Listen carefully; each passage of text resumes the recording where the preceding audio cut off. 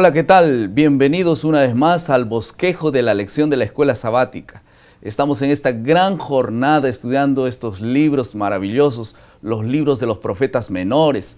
Y esta, en esta lección nosotros estudiaremos específicamente el libro de Habacuc, un libro pequeño de tres capítulos y que tiene enseñanzas magníficas para nuestro tiempo. El título de la lección de esta semana es Confiando en la bondad de Dios. Está con nosotros para comentar una vez más esta lección, este bosquejo, el doctor Reinaldo Siqueira. Bienvenido. Gracias, pastor. Vamos a hacer la oración luego para comenzar. Padre nuestro, qué alegría abrir tu palabra una vez más. Te pedimos, como siempre, tu Santo Espíritu, que nos conduzca en este estudio y en el repaso de la lección. En nombre de Jesús. Amén. Amén. Un tiempo atrás conocí una señora que angustiada y muy deprimida hablando para nosotros, dijo que nunca más iría a entender ni perdonarse a sí misma y también desconfiar completamente de Dios. Y yo pregunté por qué.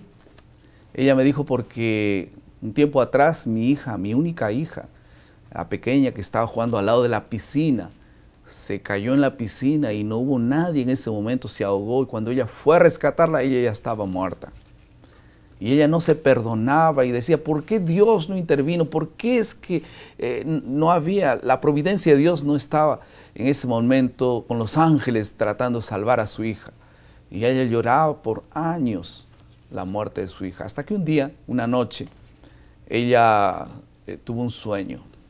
Y aquella noche ella soñó que su hija ya era joven, pero estaba en aquellos bares, en aquellos bailes, tomando y bebiendo.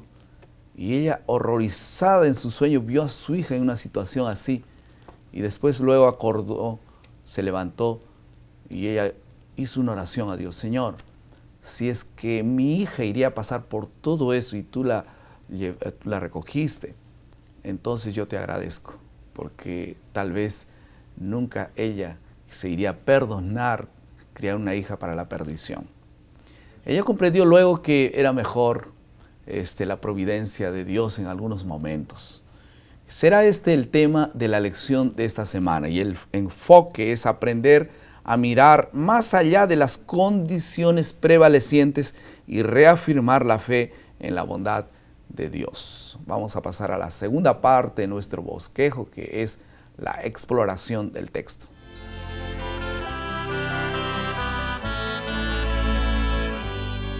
Algunas características específicas del libro de Habacuc antes de poder desarrollar dos puntos fundamentales que son Dios acoge nuestras quejas y, final, y en segundo lugar la confianza en el Señor en tiempos de demora. ¿Cómo era el contexto del tiempo de Habacuc? ¿Quién era Habacuc? ¿Dónde él profetizó?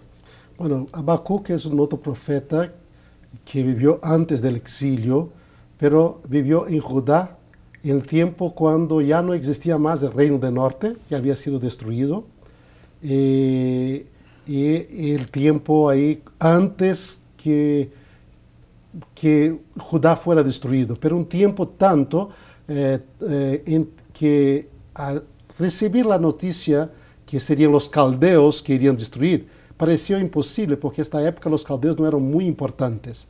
Entonces, esto porque no tenemos información precisa del tiempo de Habacuc, ¿no? Pero, este hecho... Eh, pero Habacuc eh, fue un, poco después de aquel rey malvado. No, entonces esto nos ubica porque él habla de violencia. Ajá. Eh, esta, ¿Y cuándo sería que podríamos ubicarlo? Porque no hay información precisa sobre él.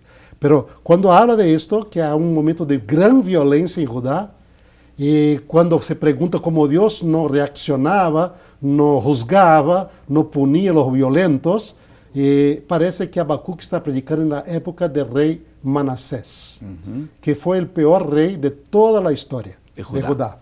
Este rey fue hijo de Ezequías, que fue un buen rey, pero Manasés es el mismo, sería el, eh, el rey en Judá que correspondía a Cab en la época de Israel del Norte. Este rey malo, Jezabel, la, la, reina mala que había, eh, terrible que había ahí. Entonces, Manasés, nos dice la Biblia, fue el peor, peor rey. Él mató todos los profetas de Dios. Manchó de sangre toda la Llenó Jerusalén, dice la Biblia, de una punta a otra con los sangre de los santos. La, la, la, tradición judía nos dice que Manasés mató a su primo Isaías, ¿no? cerrando por la mitad, ¿eh? vivo, estaba vivo y lo cerró por la mitad. Dice que él siguió a todos los dioses, adoró a todas las estrellas del cielo. Eh, eh, cerró el servicio de templo, no se servía, no adoraba más a Dios en el templo de Jerusalén. Seguía los dioses de las naciones vecinas de Israel, sacrificó sus hijos, hizo de todo lo peor. Y por tanto Habacuc aquí pregunta, Señor, ¿cuándo tú vas a juzgar? ¿Hasta cuándo voy a gritar violencia? Y parece que tú no me escuchas. ¿eh? ¿Hasta cuándo voy? ¿Hasta cuándo, Señor? ¿Hasta cuándo? Por eso Se que, quejaba todo el tiempo. Por eso que Habacuc fue conocido como el profeta quejumbroso, ¿no? Sí, así es. Y ahora en la segunda parte de, de este, de esta parte de la exploración, eh, es importante hablar con sinceridad con Dios. Dios, ¿será que Dios acoge nuestras quejas? Nosotros vemos en Habacuc 2 eh, que es importante hablar con Dios abierto y sinceramente, como lo hacía Habacuc, ¿no? Sí, eh, a veces nosotros que quedamos así sorpresos o sorprendidos la, la, de cómo la gente hablaba con Dios en, en, la Biblia. La gente lo hablaba de modo muy directo, muy, muy sincero, muy abierto. Y uno se dijo, pero ¿cómo? No puedo hablar así. Pero Dios aceptó. Porque era Dios sincero, no, ¿no? Porque era sincero. Él se quejó, Dios le contestó. Ahí se quejó nuevamente que de, la, de la respuesta de Dios. Dijo, pero Señor, este pueblo que vas a traer los caldeos son peores que nosotros. ¿Cómo puedes ahí usar un pueblo tan malo para juzgar a un otro que no es, es malo, pero no tanto como él? Entonces se quejó nuevamente. Ahí aprendió una lección. Es una lección muy, muy importante en Habacuc y para toda la Biblia. Hay que esta parte dice que, el, que Dios le dije que escriba la visión porque es verdadera y Dios le dio información básica, muy importante. Dice, el orgulloso, él no es recto en su interior. Dios no acepta el orgulloso. Pero el sincero, mismo que se queja abiertamente con Dios, dice, pero que tiene fe, dice, el justo vivirá por su fe. Esa es la famosa declaración de justicia que hace Habacuc Exacto. sobre la justicia de Dios que es sobre todas las cosas. Ahora hay algunas cosas que demoran aparentemente, ¿no? La confianza en el Señor en tiempos de demora, qué difícil es entonces esperar. ¿Cómo podemos evitar el sentimiento de desánimo eh, cuando el Señor aparentemente demora en responder nuestras oraciones? Es que cuando vemos que Habacuc, eh, hay siempre la esperanza, como que la guerra final de Dios, dice el capítulo 3, Dios va a traer salvación, pero antes de esto, el pueblo de Judá iba a ser castigado. Es el juicio de Dios. Es muy difícil cuando nosotros estamos en una situación De difícil, de juicio, eh, como uno no, cómo, cómo esperar hasta que venga la, la salvación de Dios, que los, los tiempos se cambien. Y ahí entonces Habacuc trae esta, los versos, que son los versos más lindos, hermosos de la Biblia. Él dice que eh, aún en tiempos difíciles uno tiene de tener fe y esperar en el Señor. Y dice el capítulo 3, verso 17, aún la higuera no florezca, ni haya fruto en las vides, aunque falte el fruto del olivo, y los labrados no den mantenimi- mantenimiento, y las ovejas se que- sean quitadas de la majada, y no haya vacas en los corrales, con todo yo me alegraré en el Señor y me gozaré en el Dios de mi salvación.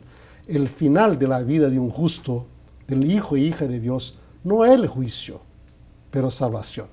Amén. Y por tanto uno tiene de esperar, hay que tener paciencia y esperar el momento de salvación de Dios. Amén. Y, y el Evangelio produce muerte para muerte o vida para vida. Va a depender mucho de qué nosotros y cómo encaremos el mensaje de salvación. Vamos a pasar a la tercera parte de nuestro bosquejo, que es la aplicación.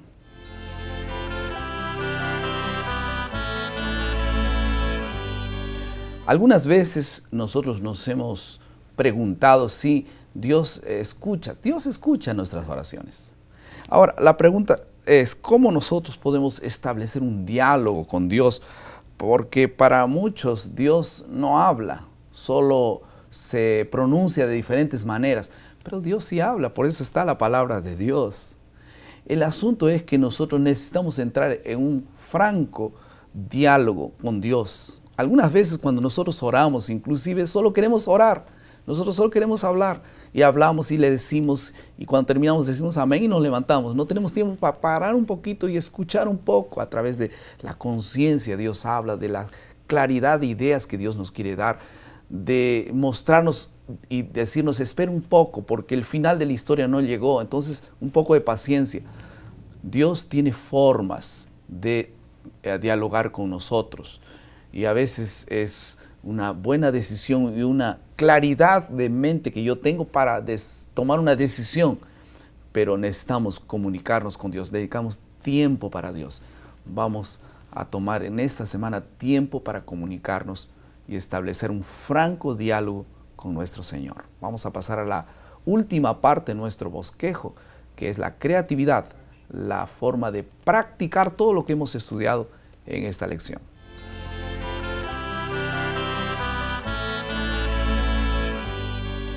¿Qué te parece si en esta semana podemos entrar en contacto con una persona o tal vez con dos que tienen su mundo confuso, no ven, no oyen, no sienten? Parece que para ellos Dios ya no está más y a, veces Dios utiliza otras personas para hablar por ellas, para escuchar por ellas, para levantar las manos en favor de ellas o de ellos nosotros somos instrumentos de Dios para poder ayudar a estas personas que están confundidas, han perdido un pariente, no tienen respuestas claras, todo está confuso en su mente. ¿Quién va a llevar un mensaje de esperanza para aquellas personas? ¿Por qué no tomas un libro, este libro La Grande Esperanza o aquel DVD del pastor González? Lleva para ellos, allí pueden ellos encontrar la claridad que les está faltando vamos a tomar esta decisión, ayudar a los demás, no solo para orar por ellos, sino también llevarles un mensaje, una palabra de esperanza. Vamos a orar. Querido Padre, muchas gracias por tu palabra, muchas gracias por las lecciones. Ayúdanos a ser mensajeros, agentes de esperanza. En el nombre de Jesús. Amén.